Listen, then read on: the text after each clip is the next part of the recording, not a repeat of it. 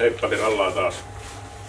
Tota noin, niin pistin tämän kahlutakin tähän päälle. Ja ajattelin kertoa, kun mä oon tuolla nähnyt monella joilla tai lampiluilla haavin käyttöä. Ja tota noin, niin millä tavalla itse häärää tuo haavin kanssa tai kulettaa sitä mukana, kun monella se kulkee ranteessa tai jossain roikkuen tai silleen. Ja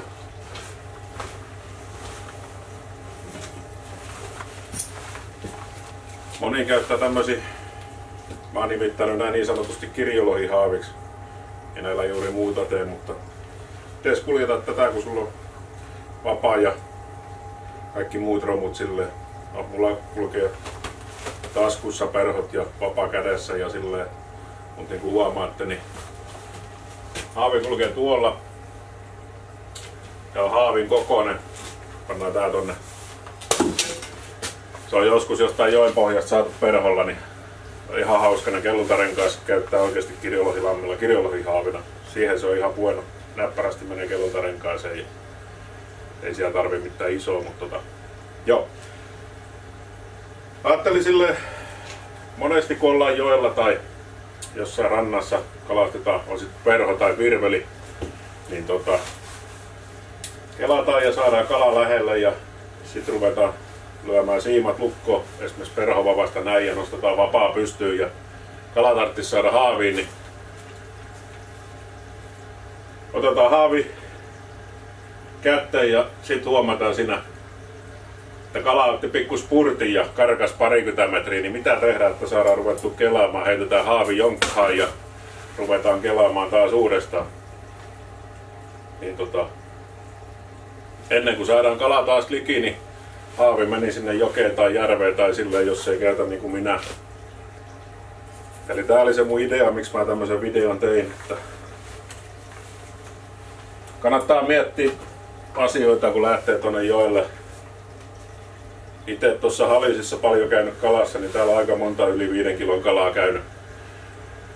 Ei oma, omia kaloja, mutta tota, noin, niin kaverin kaloja ja kaverin kaverin kaloja ja jonkun muun kaloja siellä Halisissa, kun tää on iso haavi, helppo näppärä kuljettaa ja tosiaan täällä on tuolla haavirenkaan sisällä tuo kuminauha.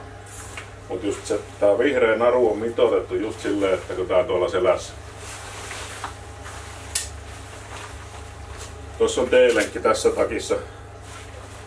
Niin se ei ole kauheasti tiellä toi vihreä naru ja pysyy suht mukavasti tuossa noita, kun heiluu tuon perhovakan kanssa ja strippailee ja silleen, niin ei ole haavi missään kohtaa tiellä ja voi kahlata suht munin myöten, eikä vielä haavi ei niin kuin, ole juuri vedessä. Kahvan pää on vedessä, jos kahlaa munin myöten, mutta on oikeasti aika näppärä, vapauttavaa kulkee. Vahvin magneetti, mitä kaupasta löytyy. Sitoisin samaisella vihreällä narulla sen tuohon toisen pään magneettia kiinni, että se on siinä silleen pysyy. Ja täällä niskassa on tämmönen pikalukolla varustettu Eli tavallaan jos ei käytä haavikellunta renkaillessa, niin mä otan sen pois aina, mutta tosiaan kahta kättä tarvii tuohon laittaa sen pikalukon tuonne T-lenkkiin.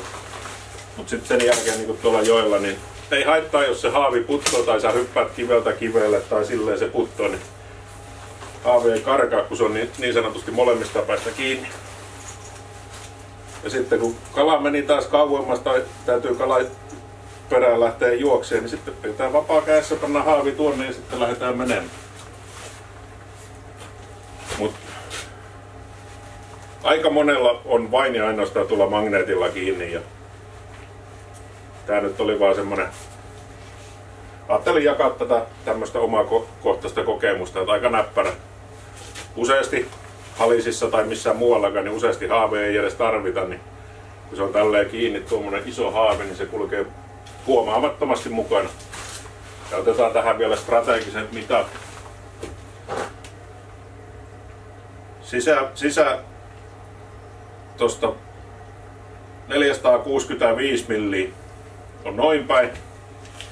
Ja tietysti toi pussin suu on tommonen karkeasti 55 senttiä, mutta sitten jos me mitataan tuosta kohta halutaan saada se 60 senttinen maaginen rajarikki, niin tuonne kun pannaan mitta, niin tuolla sisällä on 625 milliä. Eli jos haluaa silleen niin mittailla ja sitten jos me mittaillaan pikkuisen tätä pussin syvyyttäkin, karkeasti 800 milliä. Mitä tuosta sitten, jos otetaan koko mitta, koko mitta tuolta, niin 806, 870 milliä tuonne ulkoreunaan. Tää oli semmonen aika löytö, mitä itse halusin saada ison haavin, mihin on helppo kopata halisissa tai vastaavassa paikassa taimen kyytiin ja että kulkee mukavasti. Aika monta reissua suunnittelin tätä ja mitotin tätä näin ja miettisin tota kuminauhan käyttöä, että mihin piru tuo on niin oikeasti tarkoitettu. Mutta tämmönen tarina haavin kantamisesta joilla tai järvellä kävellessä kalastamassa. Ensi kertaan taas. Morjentes.